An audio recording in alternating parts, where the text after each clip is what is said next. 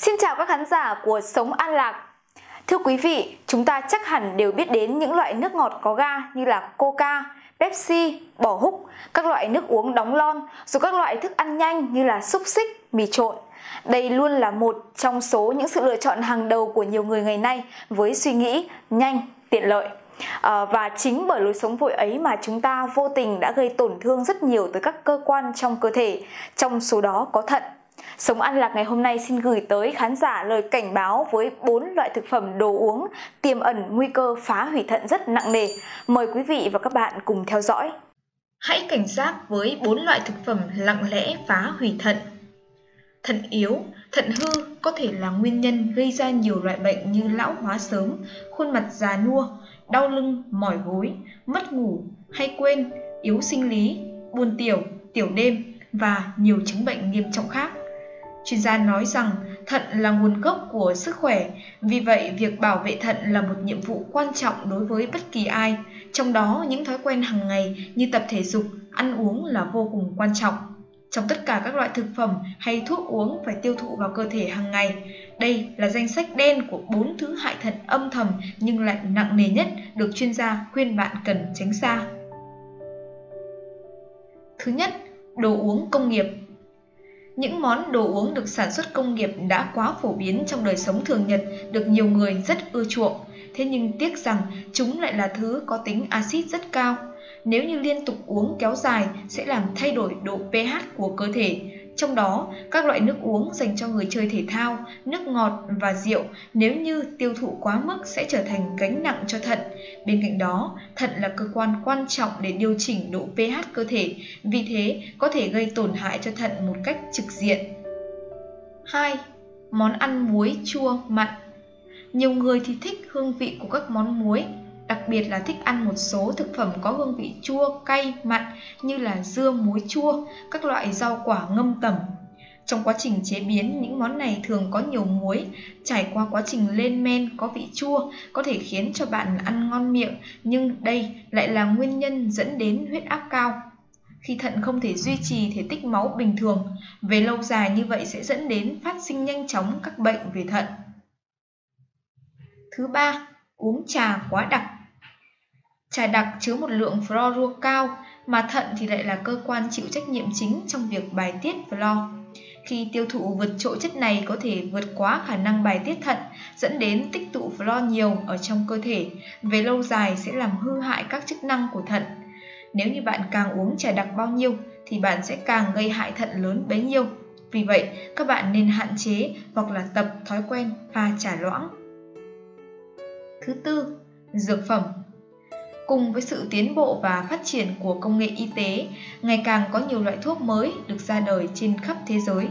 Thuốc có thể giúp cải thiện đời sống, không chỉ có những loại thuốc bổ để phát triển thể chất mà còn có cả các loại thuốc chữa bệnh rất hiệu quả. Tuy nhiên, dù là thuốc bổ hay thuốc chữa bệnh đều không phải là thứ mà thận muốn kết bạn.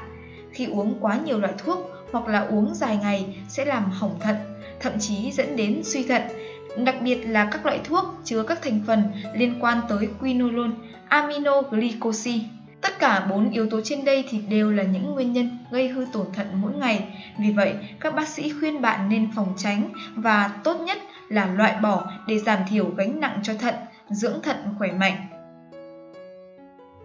Bên cạnh bốn yếu tố trên thì những tác động bất lợi khác cũng từ chế độ ăn uống và sinh hoạt hàng ngày khiến thận của bạn bị kiệt quệ. Ăn uống, nhất là những bữa ăn kéo dài với nhiều thịt, nội tạng động vật, bia rượu và nước ngọt sẽ làm tăng gánh nặng trước tiên là hệ tiêu hóa, sau đó các chất được hấp thu vào máu rồi được lọc qua thận và gan.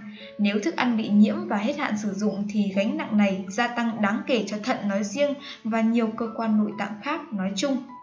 Thứ nhất, khi bạn ăn quá nhiều thịt đỏ thì việc nạp quá nhiều protein từ động vật có thể làm tăng nguy cơ gây suy thận. Protein từ thịt động vật có thể tạo ra một lượng axit cao trong máu, gây hại cho thận. Thứ hai, uống rượu say quá mức.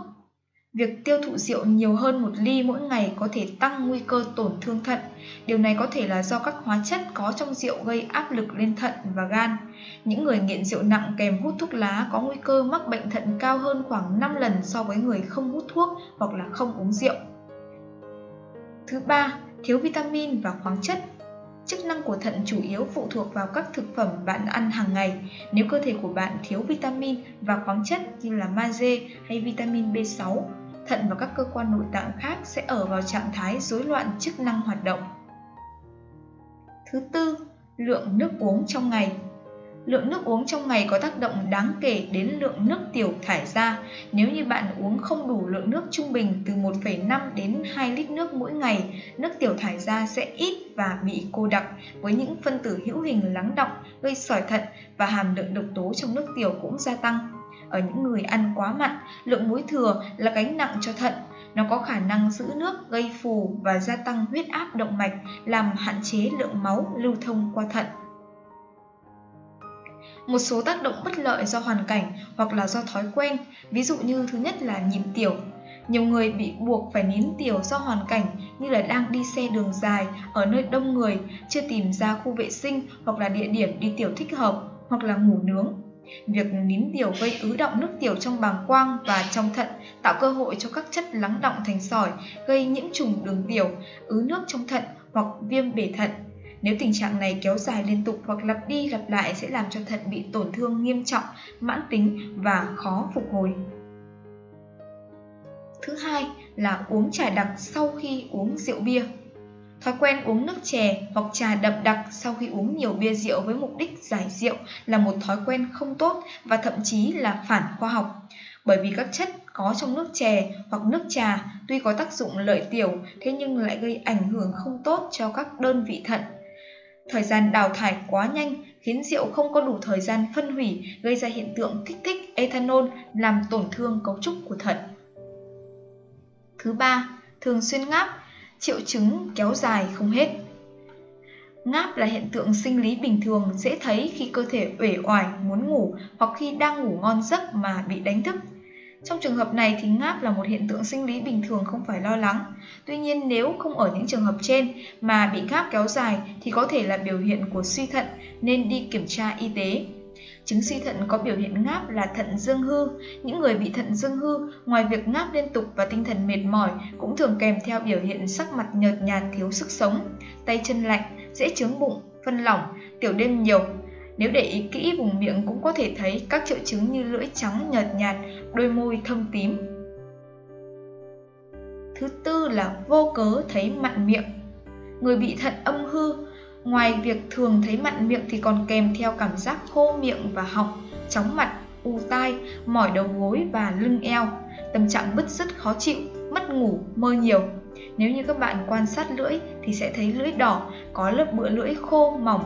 Còn đối với người bị bệnh thận dương hư, ngoài cảm giác mặn trong miệng cũng thường kèm theo các triệu chứng khác như toàn thân uể oải, khó thở, ớn lạnh, chân yếu, tiểu đêm nhiều. Nếu nhìn vào lưỡi sẽ thấy lưỡi nhợt nhạt, bên lưỡi có dấu răng. Thứ năm, cảm giác lo âu vô cớ. Lo âu khác với sợ hãi. Sợ hãi thường đến bất ngờ và không báo trước, chủ nhân bị động. Lo âu bao hàm nhát gan. Người lo âu có sự chủ động nhất định đối với cảm giác. Chứng lo âu vô cớ do hư thận thường đi kèm với các triệu chứng như tâm trí trống rỗng, đãng trí, thắt lưng và đầu gối mỏi mệt. Người bị thận âm hư Cùng với sợ hãi thì còn đi kèm các triệu chứng khác như lòng bàn tay và chân nóng gian, tâm trạng bứt rứt, mất ngủ, mộng tinh, da mồ hôi ban đêm, lưỡi đỏ, khô và ít bựa. Còn đối với người thận dương hư thì ngoài cảm giác lo âu sợ sệt còn có cảm giác sợ lạnh, tứ chi lạnh, người mỏi mệt, lưỡi có bựa trắng nhợt nhạt. Thứ sáu, sợ lạnh. Theo đông y, khi cơ thể tràn đầy dương khí thì khả năng chịu lạnh tốt hơn, đảm bảo tốt hơn duy trì nhiệt độ cơ thể bình thường, nhờ đó hạn chế được cảm giác sợ lạnh. Nếu cơ thể dương khí suy yếu, khó giữ ấm sẽ tạo ra cảm giác sợ lạnh. Dương khí cơ thể bao phủ toàn thân, có ở mọi nơi. Các tạng phủ đều có dương khí. Về cơ bản thì thận là nguồn gốc của dương khí, thận là gốc ban đầu, có thận âm và thận dương. Thận âm là gốc dịch thể âm của cơ thể, thận dương là gốc dương khí của cơ thể. Điều trị chứng ớn lạnh liên quan đến phục hồi thận dương hư. Thứ bảy, hắt hơi thường xuyên, kéo dài không khỏi. Hắt hơi là một hiện tượng sinh lý phổ biến. Từ góc nhìn đông y thì có hai dạng tình huống. Dạng tình huống thứ nhất là hắt hơi cấp tính xảy ra khi khí hậu đột nhiên trở lạnh. Khi cơ thể bị lạnh thì dễ nhiễm cảm cúm và gây hắt hơi. Sau khi hết bị cúm thì cũng không còn bị hắt hơi nữa. Dạng tình huống thứ hai là hắt hơi do suy thận. Khí lực cơ thể là yếu tố quan trọng để ngăn ngừa tà khí bên ngoài, trong khi nguồn phát khí lực là từ thận hạ tiêu, được bổ dưỡng bởi lá lách trung tiêu và truyền phát từ phổi thượng tiêu. Nếu thận khí cơ thể bị suy yếu thì khí lực sẽ không đủ, phổi không thể truyền phát khí lực như bình thường, vậy là xuất hiện phản ứng hắt hơi. Các biểu hiện suy thận có rất nhiều và suy thận cũng có thể chia thành hai dạng âm suy và dương suy, phải dựa theo tình trạng để điều dưỡng hợp lý mới có thể giúp phục hồi và cải thiện sức khỏe. Theo quan niệm của Trung y, thận được coi là gốc rễ tiên thiên, tức là nguyên khí của con người. Vì vậy nếu như muốn trường thọ thì chúng ta phải coi việc dưỡng thận là ưu tiên hàng đầu.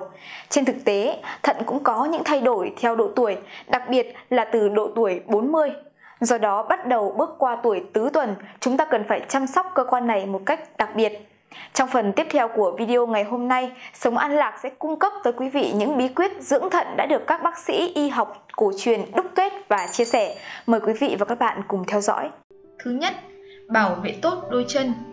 Kinh mạch của thận xuất phát từ bàn chân nên sức khỏe của hai bộ phận này có liên quan trực tiếp với nhau. Trong khi đó, đôi chân lại rất dễ bị nhiễm lạnh. Để giữ ấm cho chân, các bác sĩ khuyến khích mọi người đi tất, tránh đi chân trần ở những nơi ẩm ướt. Khi ngủ thì cần giữ thói quen đắp kín chân từ chân đến hết vai, càng không nên để hai chân đối diện với điều hòa hay quạt. Bên cạnh đó, chân là nơi tập trung nhiều huyết vị, trong đó có huyệt dũng tuyền. Thói quen xoa bóp gan bàn chân trước khi đi ngủ được xem là một phương pháp dưỡng thận đơn giản mà công hiệu. Thứ hai, đại tiện thông suốt. Nếu như bạn gặp đại tiện khó khăn, các chất cặn bã sẽ tích tụ trong cơ thể, gây ra táo bón, mệt mỏi, đau thắt lưng, cột sống, nôn mửa và đặc biệt là làm tổn thương thận. Chính vì vậy, đại tiện thông suốt cũng được xem là một trong những cách chăm sóc thận. Để quá trình bài tiết diễn ra dễ dàng, chúng ta nên chú ý điều chỉnh chế độ ăn uống hợp lý và tăng cường vận động. Trong nhiều trường hợp đại tiện gặp khó khăn, có thể dùng hai tay áp lên vùng thận và ấn nhẹ nhàng để kích phát cho thận sinh khí và gia tăng tốc độ đào thải. Thứ ba, uống đủ nước. Nước được xem là khởi nguồn của sự sống.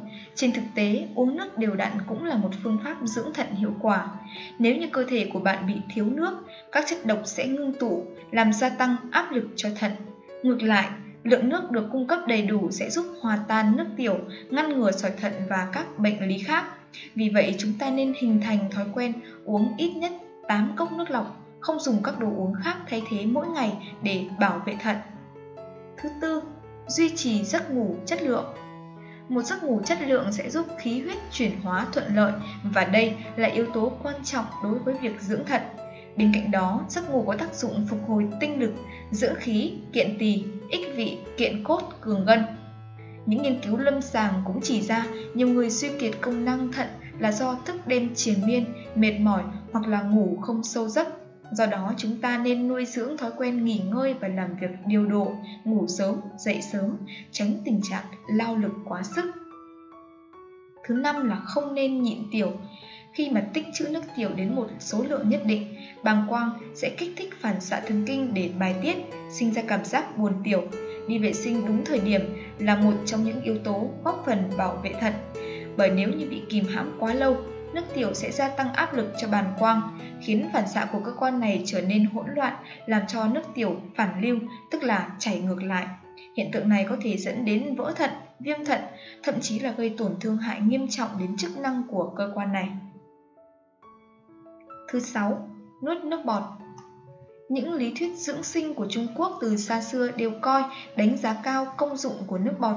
Cổ nhân cho rằng nước bọt có tác dụng nhuận ngũ quan, đẹp da thịt, chắc răng, cường gân cốt, lưu thông máu và tăng tuổi thọ. Trên thực tế, nước bọt trong miệng chia làm hai phần gồm nước miếng trong, loãng có liên quan đến tiêu hóa do tạng tỳ tiết xuất và nước miếng đục, đặc có liên quan đến thận.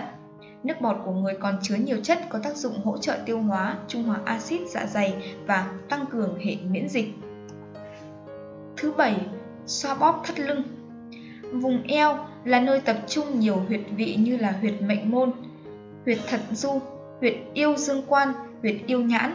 Do đó thói quen xoa bóp, đấm lưng hay là vận động hông và thắt lưng mỗi ngày thì sẽ giúp làm ấm thận dương, có lợi cho cuộc sống và thông kinh lạc.